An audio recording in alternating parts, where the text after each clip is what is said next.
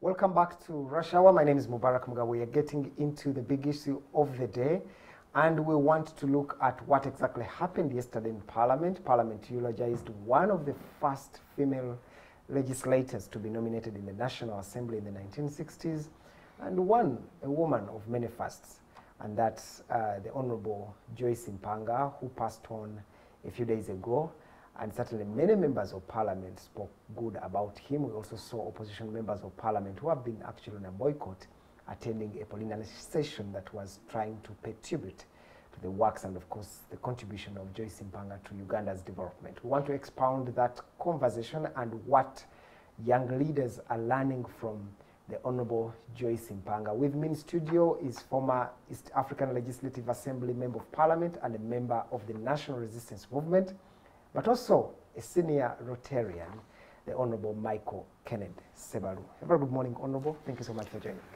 Yeah, good morning, Mubarak. It's a pleasure joining you in the rush hour. Yes. I, I like the, the, the, caption of the rush hour. I came rushing to catch up with the rush hour. Yes. So I'm indeed glad that you considered me worthy of the rush time mm -hmm. and be part of this morning show. But before I go into the details, allow me to greet our viewers out there, uh, those that have uh, taken off time to be part of the rush hour. More specifically, I would like to extend a word of appreciation uh, to the head teacher, the teachers, uh, the pupils, and the community leaders around Mugongo Primary School uh, that school That's is in Kyengera. That is in Kyengera Town Council. That school is going to celebrate a hundred years of existence, so they are marking their centenary. And yesterday they did something that I felt was worthwhile, mm -hmm. uh, cleaning the community, doing community service. Mm. They went around the neighboring trading centers of Kyengera, of Kabojja, of Bandre, of Chinawa, of Kazinga, Mugongo A and B, uh, with the pupils, the teachers, and the parents, and engaged in uh, a, a, community cleaning exercise. I really found that something great and good to write home about. Tomorrow we'll have uh, the centenary run, which will be at Mugongo Primary School. I would like to call upon everyone associated with that school, old boys and girls, to be there. And on Saturday is the grand finale when the 100 years are formally and officially celebrated. I happen to have gone through that school, school. Mm. yeah, in my very formative stages, and I'm very proud of it. If so, there's so, anything, so that's that's your home area. That is my home area. I'm from uh, it's, it's, it's, it's, it's, Kyengera Town Council. Wow! So that's why you are a member of parliament. That's yeah, right. that is why that is my home area, and that is where I do reside as well. Mm. So if there's anything good out of me, that school is that's part of my story. All right, uh, Honorable, we want to talk about many stories, but I wanted you to. I was, I saw you. You were a part of the people who went to eulogize the Honorable Mpanga when she was, uh, you know, at, at Parliament. Uh, I know you're not a sitting member of Parliament, but certainly, you know, you, you must have known her for quite some time. Could you explain to our viewers who this lady was? Yeah, first of all, I would like to bring in perspective why I went there. I think there are about three perspectives that uh, informed my decision to be there. One is that uh, I went to school with uh, some of her children. Uh, David Frederick Mpanga, one of the prominent lawyers in town, mm. is someone uh, we went to school together in Budo. He was a year behind us, but uh, he's someone I've known since school days. So that is uh, a connection. then my sister went to Gayaza High School and she also went and were very good friends with uh, her daughter, Lydia Mpanga Sebuira. So again, that brings a connection. And then the son-in-law, Dr. Sebuira, uh, who is married to Lydia, is someone I went to school with at Caltech Academy, and I was his head boy, and was a good friend. Again, a product of Caltech. I was also in Caltech for A level. I went to Caltech Academy. So again, that is a connection. Then on top of that, uh, she's a lady I knew personally. Uh, while at Budo, she used to come and uh, give us public lectures and engage students uh, in matters of mentoring and all that.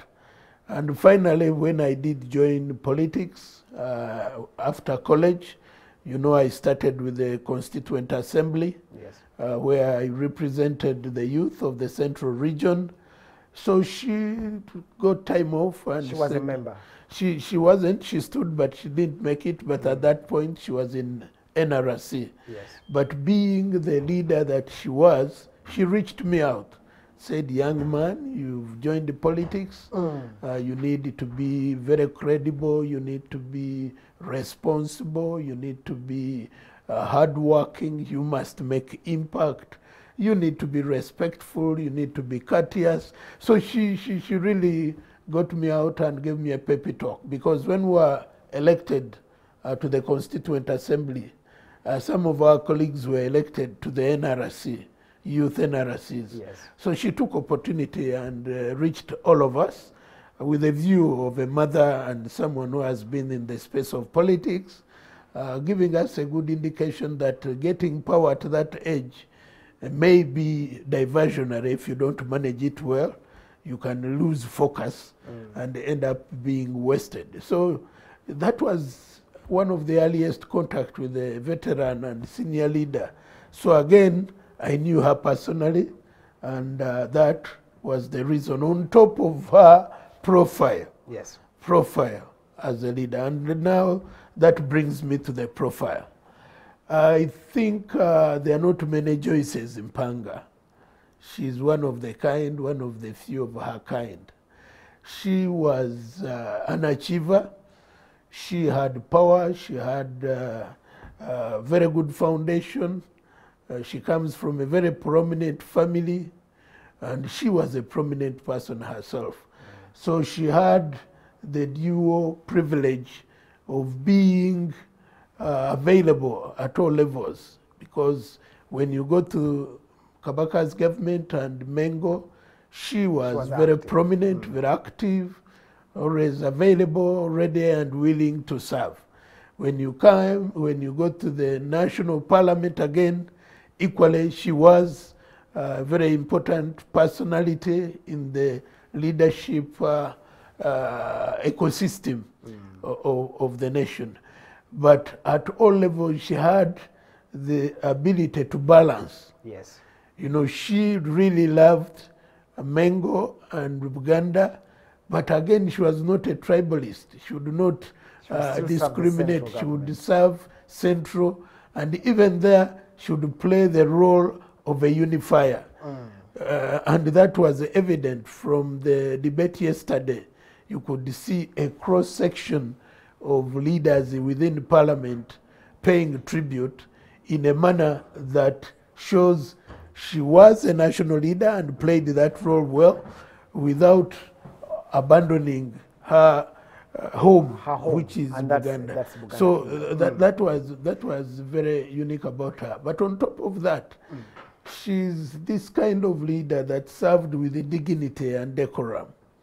Even in the manner of her speech, the manner of reaching out different people, she really believed in diversity, equity, and inclusion, which is a very good notion of leadership uh, in this in this day and age. So I would describe her as a fine leader who dedicated her life to service, and she did it in a manner that was very, very, very uh, appreciative. And she did a lot for the women cause. I Uh, if you talk about the that, gender yes. The- the- question, the, gender question. she really think is one her of the- contribution in any way shaped today's emancipation of Uganda's women. uh, I would, I would refer to her as as a pioneer, one of the pioneering uh, group of the gender mainstreaming. Uh, uh, because uh, she did that right from an early age. Uh, judging by the, the, the, the, the, the debate of uh, Honorable Cecilia Ogwal, she clearly brought it to the attention of the entire House that her gender interest was not in her latter years, it was in her early years, being uh, one of the pioneers of the Pan African women movement and being mentioned among the icons of the same. Uh, those are people who were available and served in the early 60s. And if you looked at the names that were being mentioned of Maria Nyerere and uh, some of these outstanding Pan African uh, women leaders from Kenya, from South Africa, from Nigeria, from Ghana, these are household names. So that is the time she started the agenda. But the interesting aspect of with her, she was not the kind of person who was obsessed with the entitlement or self-aggrandizement. Power. Those kind of achievements were never mentioned by her, and it took death uh, for them, for some of them to come out in and, the open and, and other people actually and it was other people attributing it to her. She never used to engage in self-aggrandizement, self-praise. Many of the people in her generation are now departing, are Yeah. now leaving. Yes. Do you think this generation of leaders espouse some of the values that these people actually had? The generation, The generation of leaders today. I, I, I want to look at it from two perspectives, from the general perspective and from the individual perspective. For every general rule, there are exceptions. Uh, there are those women uh, of this generation uh, that really exposed uh, the attributes associated with that generation of leaders. But uh, many of those that fall in the category may not occupy positions now, but they still have great influence within the political space. Uh, women like Miriam Matembe, uh, these are ladies who have done a lot, Sech Toleko. Uh, th- those are ladies who are no longer In occupying space, but they're office, still yes, available, mm. and they're using different spaces to influence uh, the, the, the, political the country. landscape. But there are also those that do have positions, are in positions That could be of different. responsibility, but who don't quite expose uh, those uh, qualities. Uh, because of late we've been, uh, uh, we, we have this whole notion of uh, celebrity status. Uh, it is eating up some of our leaders. Some what do you of our mean by leaders celebrity status? you know, people get consumed in effort and desire to be populist in their approach. Uh, now social media is available. People want to command big followings on social media platforms. And by putting too much emphasis on that approach and model, uh, at times they are responding uh, to the demands of what people want to hear, not necessarily what people need to hear.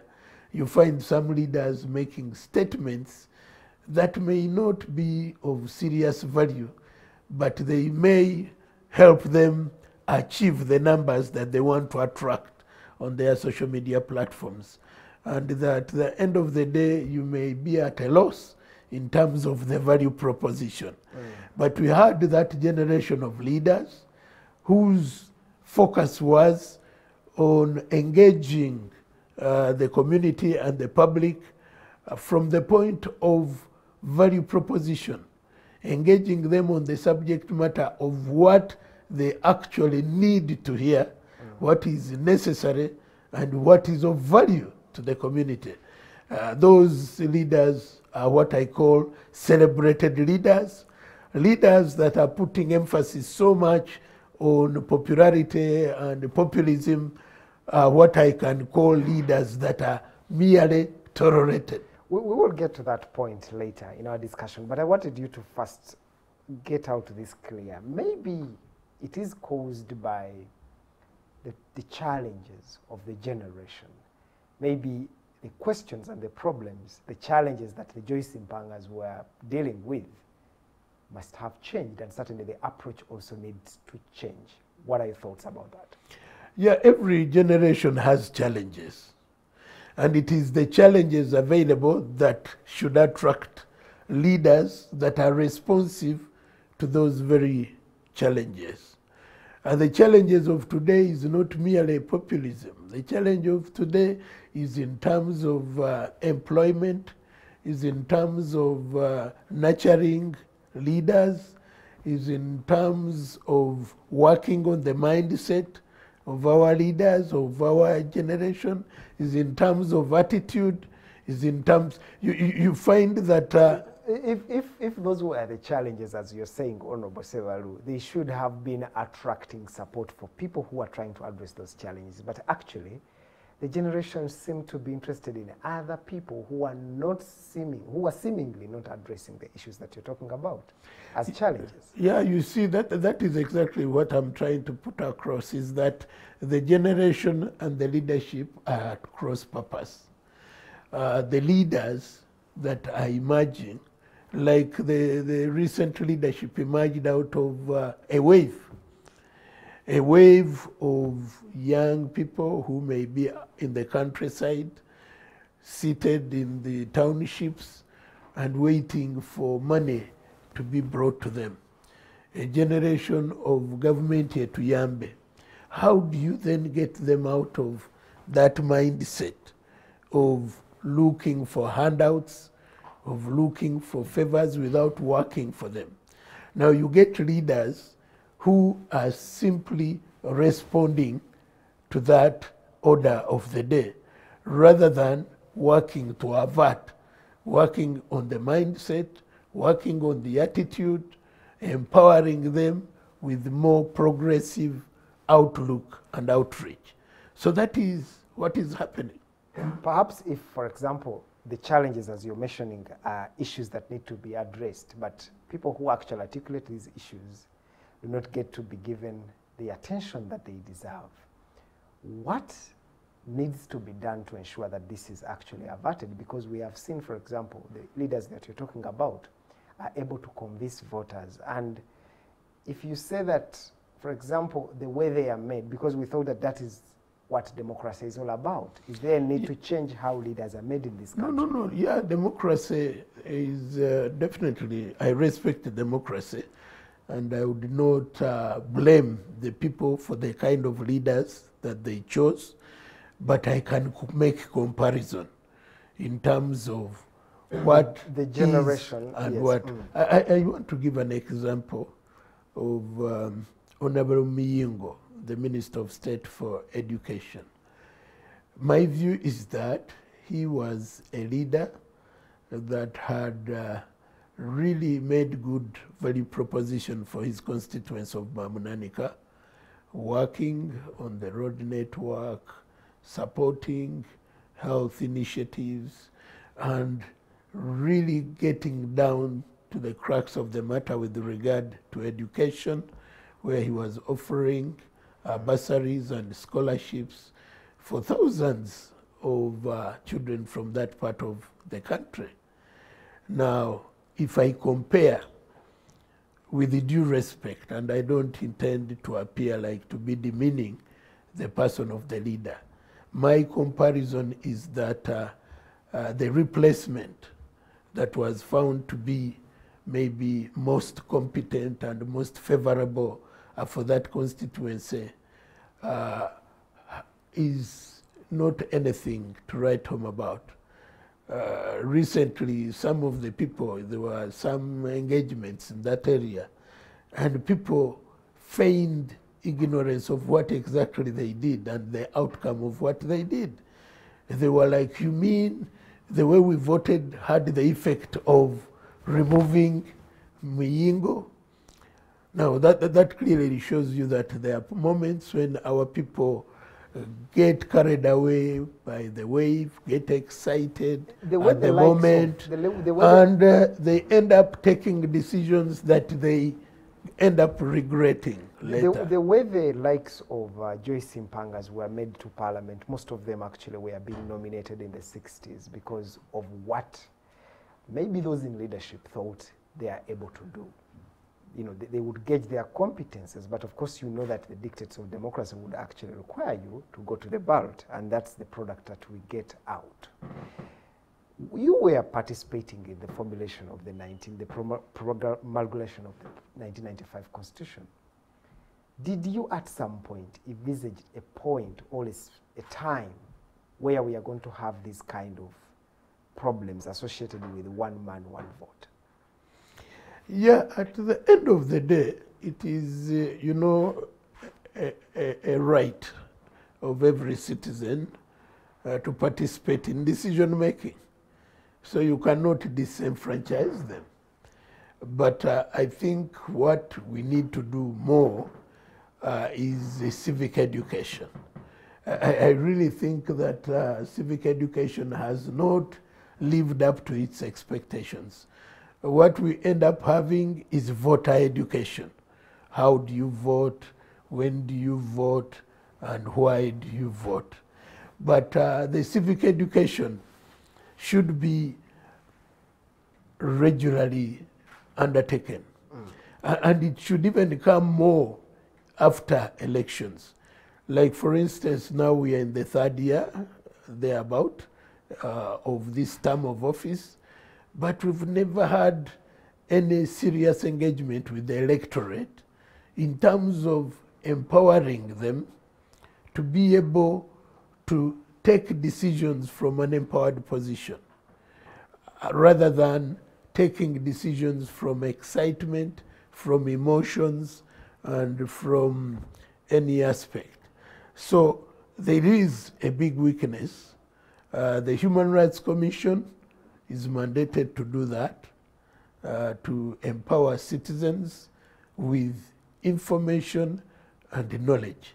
Because the- when you have an empowered, the- the when you have- wasn't that when you have an empowered uh, citizenry, they make the leadership accountable.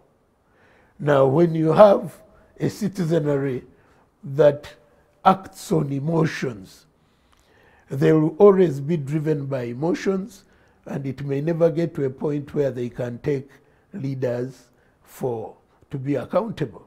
This For instance, there are things. not so much in the 60s. Pardon? The civic education you're talking about was not so much in the 60s, but the 60s were able to produce a kind of leaders like Joyce Mpanga. Would you suggest that we should resort to that, that kind of a system? No, no, no. I think uh, you, you needed to look at the size of the population then, the factors at play then. We had come out of uh, colonialism, and there were factors that dictated uh, good leader, emerging leadership to be strong in order to sustain independence. So the factors, there was some serious political work where different actors were on or, or, or- were available to agitate for good leadership, strong leadership emerging. And if you look at people like Mpanga, that's why they entered early in the political space.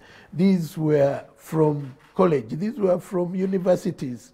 You know, uh, Abu Mayanjas, uh, Mayanja Nkangis. If you look at the crop of the leaders that emerged, uh, they were very empowered with good education, and at the point of the time, they were the best among the best Good available. education, but the education today is better than then.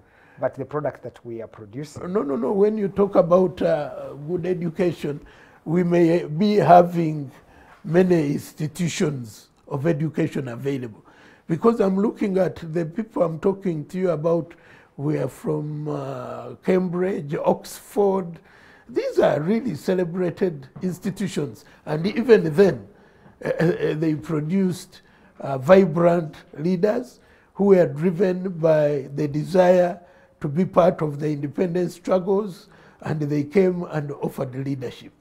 So the crop of leaders So was an words- emerging crop Yes. driven by circumstances of the day and the desire to fight for independence and make credible uh, contributions. Couldn't this have been started by your own chairman of the ruling party who at some point asked voters to vote for those who can vote as long as they are able to vote in favor of the positions of the ruling government? But also currently we are seeing the opposition leaders walking out of parliament and boycotting. What impact does that have directly or indirectly to the movement or the direction that the country has taken. I want you to respond to that after this very short break. We are handling this issue and certainly we are coming back after a very short break. Well, good morning.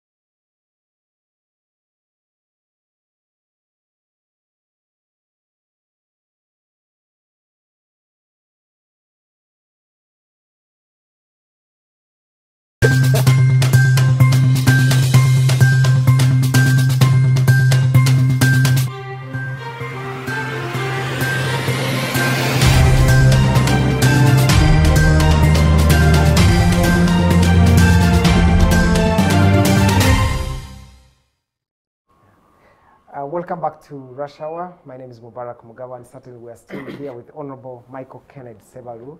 We are looking at eulogies for the Honorable Joyce Mpanga, one of the first female, you know, leaders uh, to occupy political offices in the country. And before we left for a break, we're still comparing whether the young generation have learned anything good or they are able to espouse those ideals and values and certainly principles that such a caliber of Joyce Mpanga stood for. Honorable, before we left for a break, I was asking you a very interesting question. Couldn't this kind of diminishing quality of leaders that we're having in this country have been started by your own chairman of the ruling party when at some point was certainly asking voters to vote for those who can have just the ability to stand up and vote for what the NRM is standing? Yeah, I think my view is that uh, he may he may have made that statement uh, with a view basing it on the party doctrines. You know that uh, in multi-party democracy, the position of the party is what carries the day. So for me, as an individual, I think we lost it at a point when we abandoned individual merit. Individual merit was an African creation which could, in my view, have served a better purpose. And indeed it did at the time that we applied it. But uh, we get uh, fascinated by Western ideas, Western doctrines, and Western definition of democracy. Because during the individual merit time, it was democracy. It were the people electing the leaders. But the leaders would offer themselves to the population on the basis of their individual merit. And But even here, there is some element of individual no, merit. you know, here, like you, you people people would go out and say we are tired of Muyingo. They have reasons as to why they are tired of him and they have the power and the right to get him out. No, I think I'm developing a point which you need to listen to. Because Muyingo, if you hear people say that they are not too sure what they did eliminated Muyingo, mm. it was because they were responding to a generalized wave. Like there were wave in the central region that may be NRM, and you find a wave now taking even those that are very credible. Because if it were individual merit, Muyingo would have remained because then he would have been assessed as an individual. individual. But now it was like a blanket kind of reaction caused by the wave that swept across the central region. Mm. So when we had the individual merit, people would you would even go and talk about your individual merit. Now more Your often people talk about People the look at party. the party credentials. Yeah, people talk about the party, party credentials, which can end up elevating Some- even uh, a, a, a- a person that is not as good.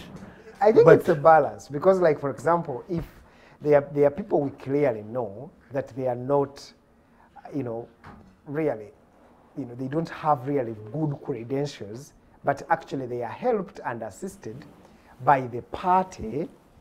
For example, to, to, to they can as well be made leaders by the party. There are, there, there are places where, for example, leaders in the NRM are made because they belong to NRM, not because actually they are competent. I think there's some kind of balance in there. Because I, I, I have seen, for example, if the party can make Muyingo lose, there are other places where the party can make another person, whether competent or incompetent, win an election. Yeah, that, that is true, but uh, that, that, for every general rule, there are exceptions. Yes. Now you are looking at the exceptions. For me, I'm looking at the general rule and the general principles of application. Because I remember in the individual merit time, I was in the sixth parliament Yes. where individual merit was the order of the day. And the quality of debate, the content of debate was informed by education, experience, exposure, and expertise. And you'd find that in general terms, the majority of the House are of a different view. Out of maybe lack of information, lack of knowledge or anything, but from a general perspective. And someone would pick the microphone, applying the knowledge, the experience, the exposure and expertise, and he sways the entire House to vote for what is credibly right and in the best interest of the country. But now, whether you have your great knowledge, as long as your party has taken a position, the best that you can do is to engage in a caucus prior, maybe to the, The general voting. debate. Mm. And once you are defeated there, you don't even have the, the opportunity to recommit or to reconsider the bet and bring it to the main house because then you'll be defying a party position and you may be considered an errant member of the party. And yet, you may be convinced that the majority took a decision, but it may not serve the purpose. So during the individual merit era, Mm. Content was generated and informed the decision making on the basis of such considerations. Now that is a bit out of the way because the operation of multi-party democracy is such that once you've taken a position, even when you know it may not serve the purpose, you have to go by the rules of the engagement uh, from a political party perspective. We have ever had, uh, you know, a time where Uganda was actually applying party lists, proportional representation, where parties would nominate. That's how the Joyce Mpangas were made. Is it the right time for Uganda to just think about getting back to that kind of system? Yeah, I think uh, that debate needs to be uh, given opportunity as we look for better ways of dispensing uh, democracy with value, high level value propositions. Uh, that is a subject that may need to be uh, reconsidered and given opportunity because we need to, to, to, to, to audit the kind of uh, democracy that we do have at the point and look out for what is working and why it is working. What is it that is not working and why it is not working? And what is it that we can do differently in order to deliver better, be more accountable, be more transparent, and be more impactful? And for that to happen, we need to be intentional, we need to be purposeful, and we need to be deliberate. So such a debate is something that should not be uh, left in the back seat. It is something we need to reconsider because there is a debate already emerging regarding the size. Are we really getting value for money for over 500 members of parliament uh, for a country of a population of 46 million? where even a country like China with 1.4 billion people has a less equivalent of a legislative assembly, where a country like Kenya with their numbers, Tanzania with their numbers are far less in the House? Are we looking at the quality of representation or we are looking at quantity of representation? is the time available for the 500 members of parliament good enough for them to make impact in their deliberations three minute debate even before you've uh, made your preamble to your contribution. The time is up. Is that what we look at? So all these areas need to be to- all these areas need to be uh, If one looks at re-evaluated. it from a, a point of, for example, extending the term of office to give them, to allow them have much more time than they have in five years, couldn't that work better? but uh, as long as seven years of three minutes each contribution every sitting, does it make any difference in terms of quality of the debate, content of the debate, and the impact of the debate?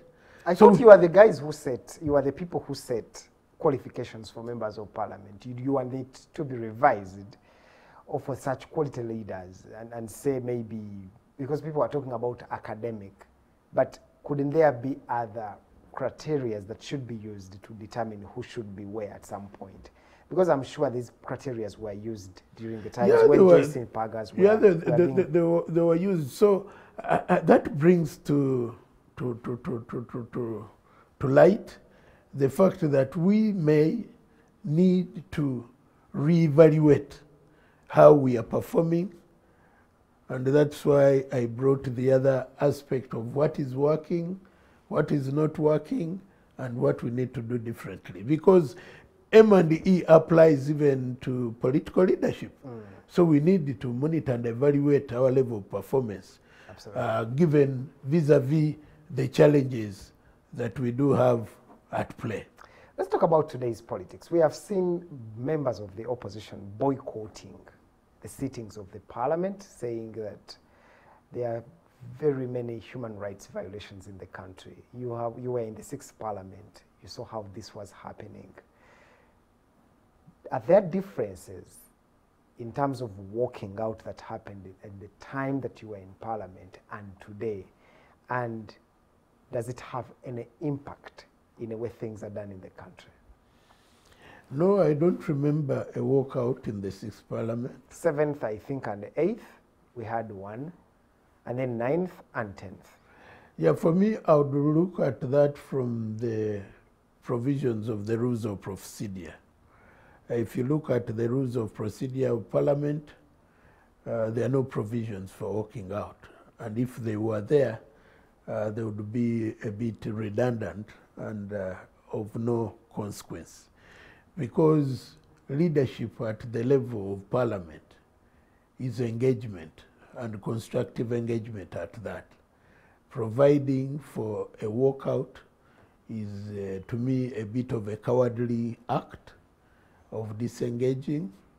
It uh, brings to fore that you've run out of constructive means, engagements, and tools of engagement.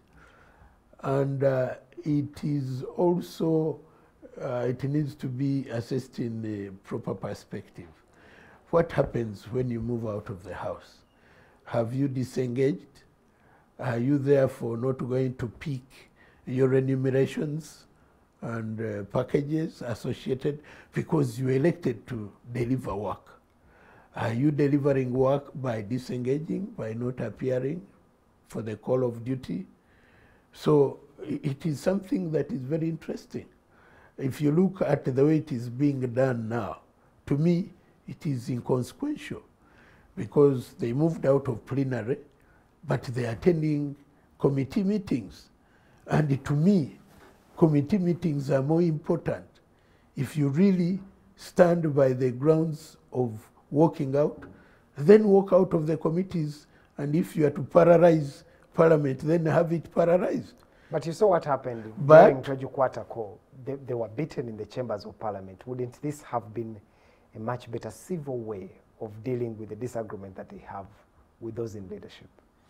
No, you, you, you- look at the, the you, you need to look at the environment pertaining to that. What exactly caused the fracas? That was an event, but this is a process. That was a day's event, somehow that uh, found itself in the state that it found itself in. But this one is a deliberate, intentional, and purposeful decision, which then becomes a process.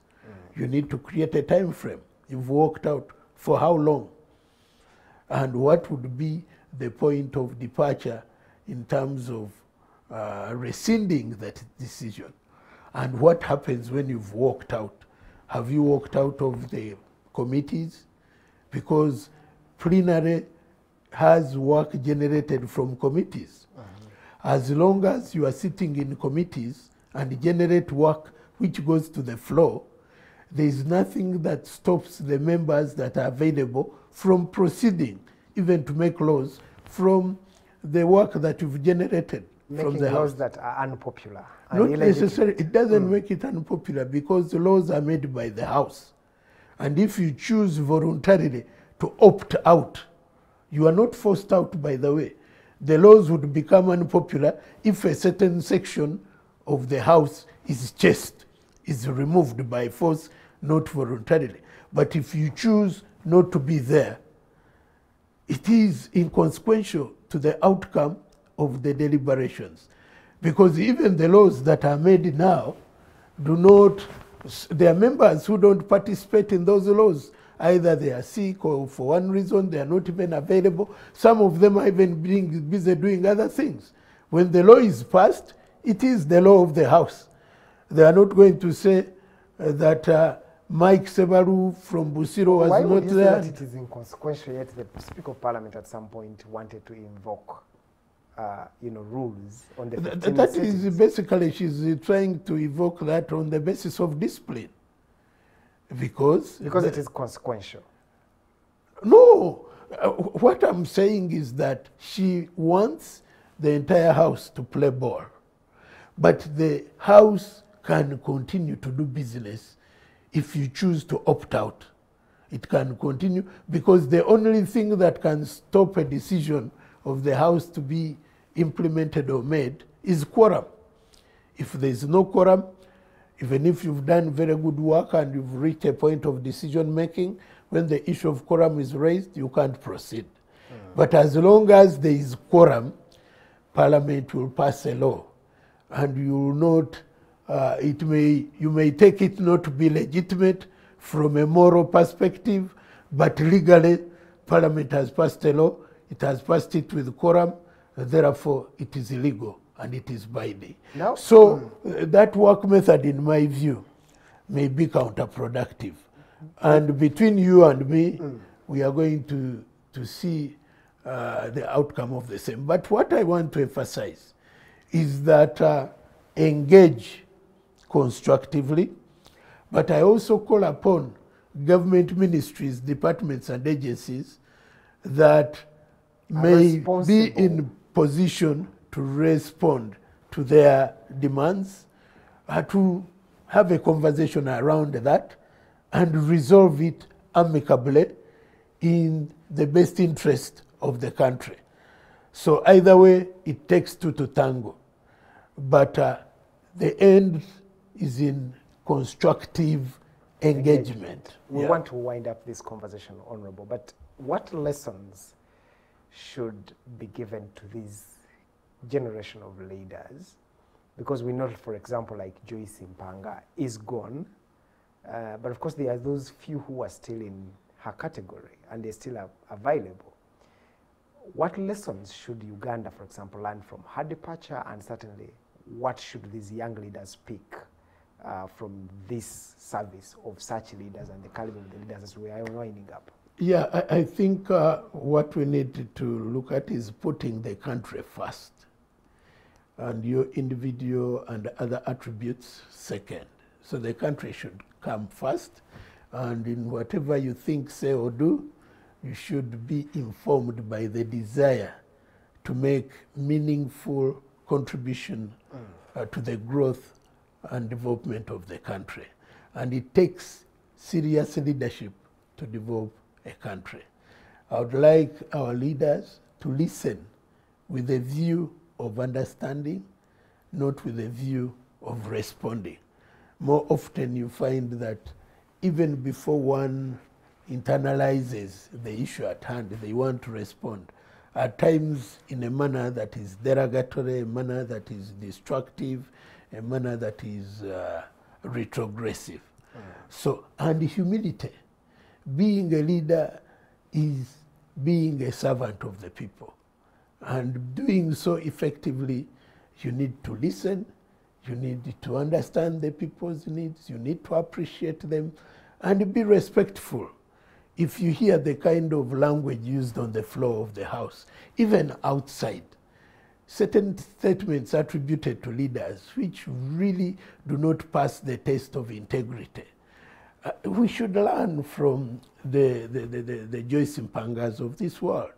They would disagree, but disagree respectfully in a, on any matter without being provocative, without being abusive, without being uh, uh, without degenerating both in dignity and decorum.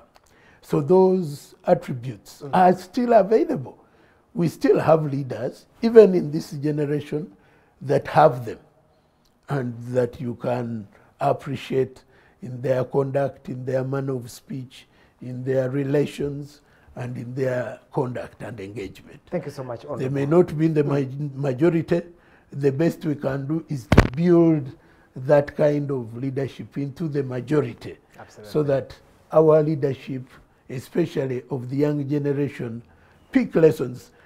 The best way to pay tribute to the late Joyce is by emulating what they stood for. what she stood for and how she managed her public life and as a leader. Thank you so much, Honorable, for sparing time to speak Do you to allow us. me once again to invite my OBs and OGs of Mugongo Primary School uh, to have a date tomorrow for the centenary run and Saturday turn up in big numbers as we celebrate 100 years of imparting knowledge uh, to the young children of Uganda.